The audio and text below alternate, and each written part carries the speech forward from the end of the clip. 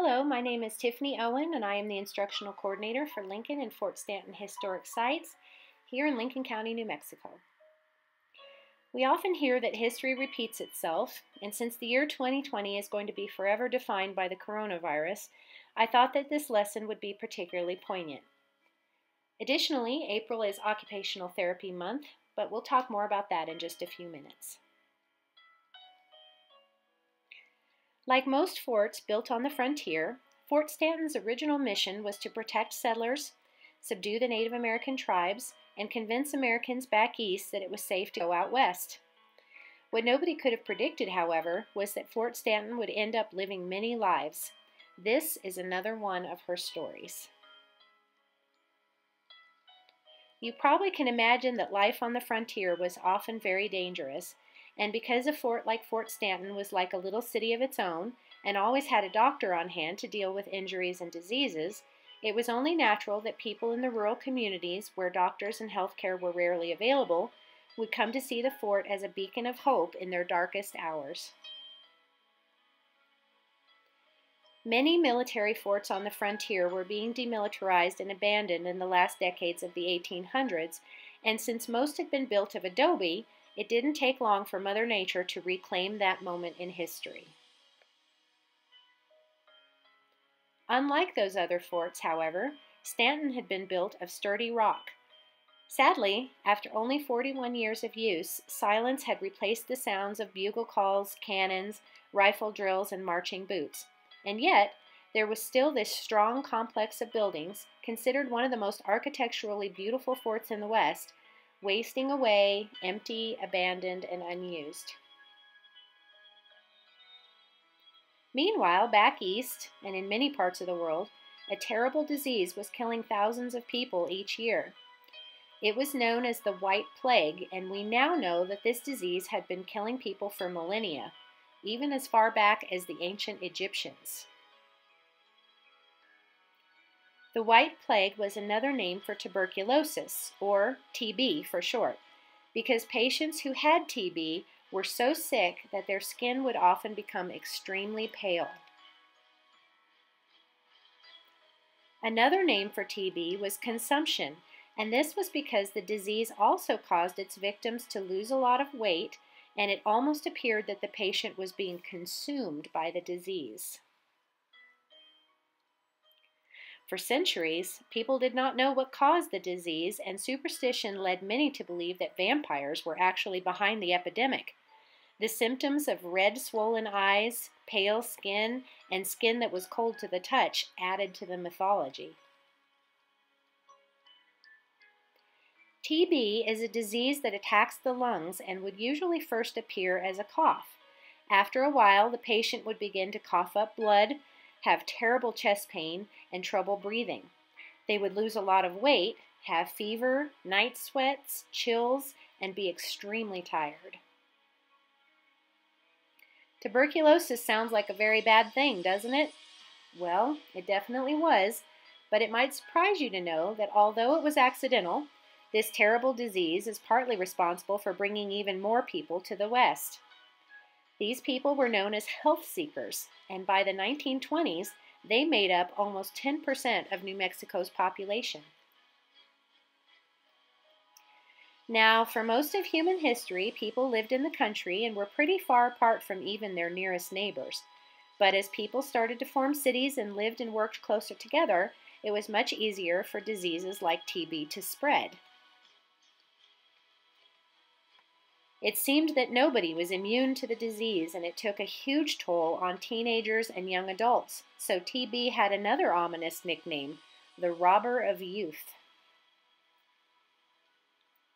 But the White Plague also had a big impact on our military because soldiers were packed into barracks and sailors lived below deck on ships in extremely cramped quarters. Many members of America's military forces and merchant marines returned home from abroad with the disease.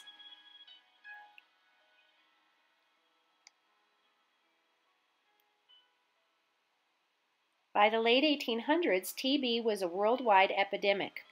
In the United States, 70 to 90% of people living in cities had the disease.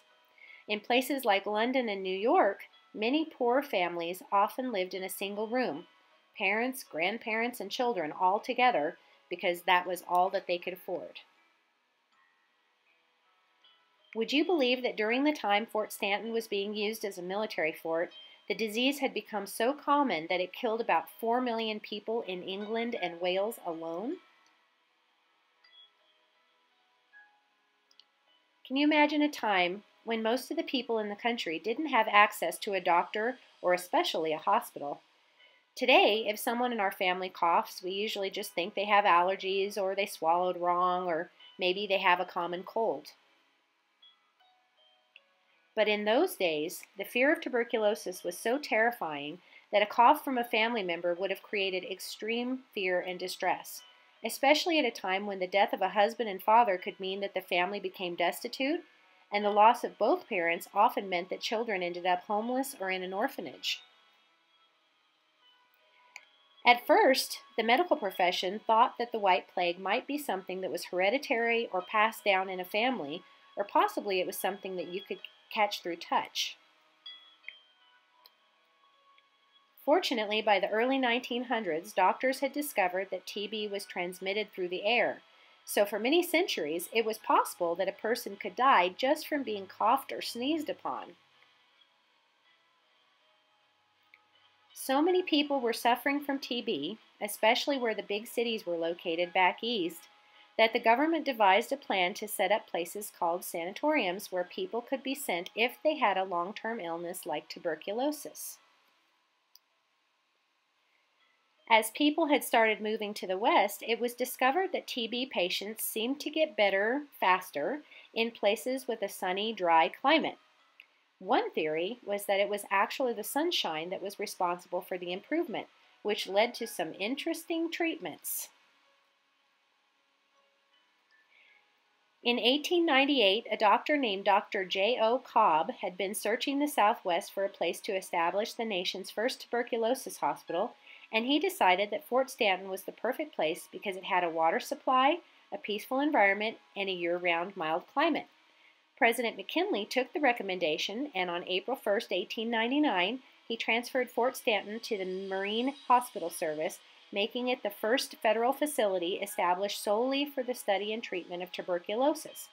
And with that, Fort Stanton was reborn as a place of healing. Over the years, Fort Stanton's doctors and nurses were instrumental in discovering and developing many of the treatments that help patients get better faster.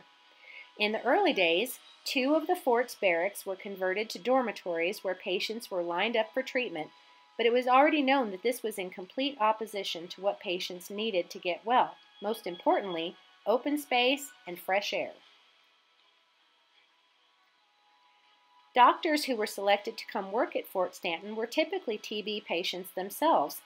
One of these doctors was Dr. Paul Carrington, who worked with architect J. Ross Thomas to create an open air tent with canvas sides that allowed patients to get almost constant ventilation. Each tent came with two cots and a stove.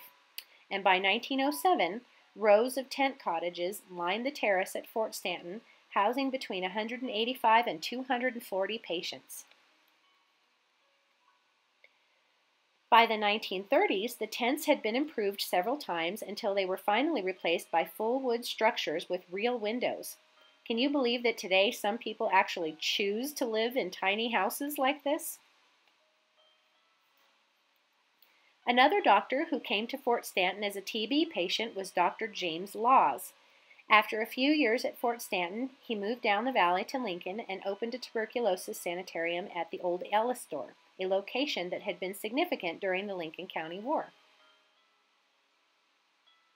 After long hours of caring for patients, Dr. Laws would personally build TB huts for his patients to live in while they recuperated.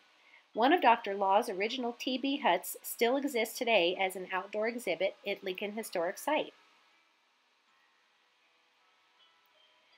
In 1936, the building that was referred to as the new hospital opened at Fort Stanton. This hospital replaced the hospital that had served the fort during the military era. Fort Stanton's was the first federal tuberculosis sanatorium established in New Mexico.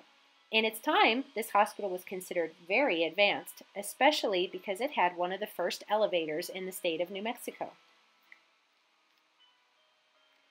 Most of the doctors selected to come to Fort Stanton were chosen because they were tubercular patients themselves, so they were highly motivated to understand the disease and conduct research to find treatments and a cure.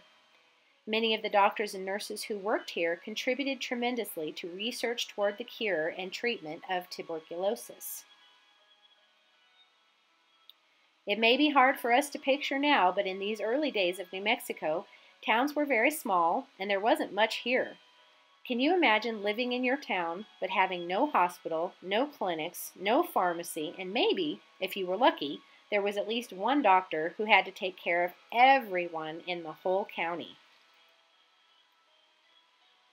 The Fort Stanton Hospital was initially intended for sailors known as merchant marines, but it became a place of healing for everyone from miles around. For people in the surrounding small communities, Fort Stanton became the place that they would go when they were very sick, had broken bones, to deliver a baby, or even to have a tooth pulled. Patients with tuberculosis were also sent here from all over the country because Fort Stanton had such a high success rate for saving their patients. After they recovered, many of these patients married and had families and decided to stay in New Mexico. So it is a strange accident of history that a disease actually helped settle the western United States. After World War II, tuberculosis was less of a problem for most Americans but because Native Americans had been forced to live closer together on the reservations, it was now a major problem for them, and they sought treatment at Fort Stanton. Ironically, the fort that had originally been established to subdue the Native Americans was now saving their lives. But Fort Stanton wasn't finished yet. There was yet another era in her life. For 35 years, Fort Stanton operated as a school for the mentally disabled. It was called the Fort Stanton Hospital and Training School, and its purpose was to help people with disabilities. For many centuries, people who had disabilities or mental illness were put in facilities where they weren't treated very well. Sometimes they would even be kept in chains or locked in rooms and left alone for years. But in the early 1900s, people began to believe that this was not the right way to treat people with disabilities, and efforts were made to take care of them in more productive ways, maybe even teach them a skill that they could use to make money and support themselves. About the same time, nurses who were taking care of soldiers returning from World War I noticed that the soldiers would get better faster and be in a better mood if they had something to do. Out of this problem of trying to make hospital stays more tolerable and help people with physical and mental disabilities learn skills to survive on their own, a whole new profession was born called occupational therapy. And back in those days, many soldiers came back from battle severely wounded. So they not only had physical pain, but they had the fear and anxiety and sometimes depression caused by the possibility that they might not be able to do the job that they did before they became soldiers. Many people are familiar with physical therapy, which helps get your body working again after you've been sick or injured. But occupational therapy is different because it is holistic. That means that the therapy is intended to deal with your whole self, your physical issues, but also the issues in your mind that might affect your recovery. Many of you probably know someone who is in the military or maybe someone who deployed overseas or was injured in a war. Some soldiers come home with physical injuries or traumatic brain injuries that make it difficult to do the things that they've known how to do for most of their life. Here at Fort Stanton, occupational therapy has been used through many eras of the fort's existence the military years, the tuberculosis years, and the hospital and training school years.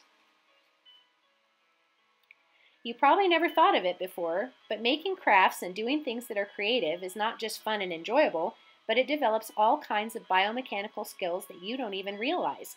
You think that you're just doing something fun. Did you know that every time you move, your body and brain are coordinating to make that movement happen? Your brain sends the signal that travels at warp speed to your muscles and tells them how to move, in what direction to move, and even how much to move. The word motor isn't just a car part. The original meaning of the word motor is to produce a motion or action. And there are two types of motor skills for different muscles in the body. Gross motor skills are big movements that your large muscles make, which is like when you're running, swimming, doing jumping jacks, or climbing a ladder. Fine motor skills use the small muscles in your hands, fingers, feet, and toes for activities such as writing, buttoning a shirt, tying shoes, or typing on a computer. The patients receiving occupational therapy at Fort Stanton used gross motor skills when they exercised on the parade ground every day. They used fine motor skills when they worked on crafts in the OT building, like these soldiers who were using their smaller muscle groups to hold drawing pencils and paintbrushes. You've probably never thought about how much your brain has to work just to keep your body moving throughout the day. Now imagine you are a soldier returning from battle and you've unfortunately had to have your arm amputated. How hard would it be to get dressed? To find out, Sit on one of your hands and try to button your shirt or tie your shoes. Hopefully, this will never happen to you, but if it does, an occupational therapist could help you find new ways to make it through the day. Occupational therapy first emerged as a profession over a hundred years ago, just after World War I, when soldiers started coming home injured or disabled. Many of them had long hospital stays while they recovered, and nurses noticed that when they gave the men a craft to work on, it not only helped them regain their strength and coordination, dexterity, and motor skills, but they seemed to regain a sense of purpose and their mood improved. OT was also important because TB patients were forbidden to work or do anything strenuous. Their condition often left them very weak, so making crafts like baskets or toys helped fill the long hours in between medical treatments. Over time, scientific research found even more benefits to making arts and crafts. In addition to using your muscles and your brain, you are also engaging and enhancing your five senses. Can you guess how many of the five senses these young potters are using? Yes, these students are using four of their five senses when making a bowl on the pottery wheel. But wait, one of our senses is missing. Can you remember the one which is definitely not used in pottery? Taste. That's right. The sense of taste is known as gustatory perception. Let's hope that these kids aren't planning to taste their clay. Yuck. As if your brain doesn't have enough to do just sending signals to your muscles to move, it also engages in all kinds of cognitive skills while you're creating something. Occupational therapists who work in schools, nursing homes, or in mental health facilities like the Fort Stanton Training School often spend a lot of time using crafts to develop skills such as decision making, planning, following direction, attention to task, problem solving, concentration, coordination, self control, sequencing, delay tolerance, time awareness, and much more. Research has revealed that perhaps the most significant benefit to crafting is the emotional lift that human beings get from the act of creating something. While using your hands and all of your other senses creatively, you are making your own choices for colors and materials, expressing emotions through your art, revealing your mood, feeling accomplishment when you learn something new, setting goals, sometimes socializing with friends while you work together, making memories of home and nostalgia, feeling generosity when you make something for someone else, and hopefully you get a boost of self esteem when you show your work to someone and they love it. Throughout history, occupational therapists have been healing bodies and healing minds. And Fort Stanton played a part in that legacy. Fort Stanton and Lincoln Historic Sites continue to promote this tradition of healing through occupational therapy at our special events and school tours. Children attending Fort Stanton Live and the Rio Bonito Folk Fest develop their motor, cognitive, and perceptual skills by learning about the folk art of quilting. Some use the quilt boards and manipulatives to recreate a traditional quilt pattern, while others chose to design their very own original quilt square. Special events at both Lincoln and Fort Stanton historic sites frequently include, include crafting activities for kids because of the many hidden OT benefits. What may seem like a mindless or even childish activity is actually developing the body and minds of the children. As they fold the paper and manipulate the pieces of their craft, they are enhancing fine motor skills, bilateral coordination, hand strengthening, grasp skills, dexterity, and muscle tone. Many of these skills reinforce improved handwriting. Meanwhile, while they think they're just doing something fun, their minds are expanding cognitive abilities attention to task, concentration, problem solving, coordination, self control, time awareness, delay tolerance, following direction, and sequencing. Local students attending our spring school tours get to walk through the somewhat spooky hallways of the 1936 tuberculosis hospital, where they end up in the sunlit therapy room on the second floor. There, the students make their own pinwheels. The sensory system is in on the act too. As students choose colors, fold paper, smell the markers, and hear the sound of their pinwheel when it spins, their visual, tactile, auditory, and olfactory systems have all been engaged and are firing off information to the brain. And as the students complete the pinwheel, with the uplifting sense of accomplishment as it begins to spin, they reflect back on the devastating disease that once brought people from all over the country to Fort Stanton. So, how could a child's toy benefit a person sick with a lung disease? Well, he could work with a respiratory therapist who might instruct him to inhale and exhale 10 times. The patient's mind would be completely focused on the act of breathing in and breathing out. Likewise, a patient who blows on a pinwheel is also exercising his lungs by breathing in and breathing out, but instead of being focused on the exercise or the pain associated with it, he's probably distracted by the act of making the pinwheel turn and watching how the colors and designs blend when it spins. The mental health benefit comes from the act of creating something. The patient has control over the colors he chooses and the design that he creates. For a patient stuck in a hospital room or in one of those small TB huts, these pinwheels might bring some color and fun into the environment. Even on days when he didn't have the strength to blow the pinwheel, he might place it in a flower box and let the wind lift his spirits. That's what occupational therapy does. It helps fix what's physically broken as well as fixing the mind and the soul.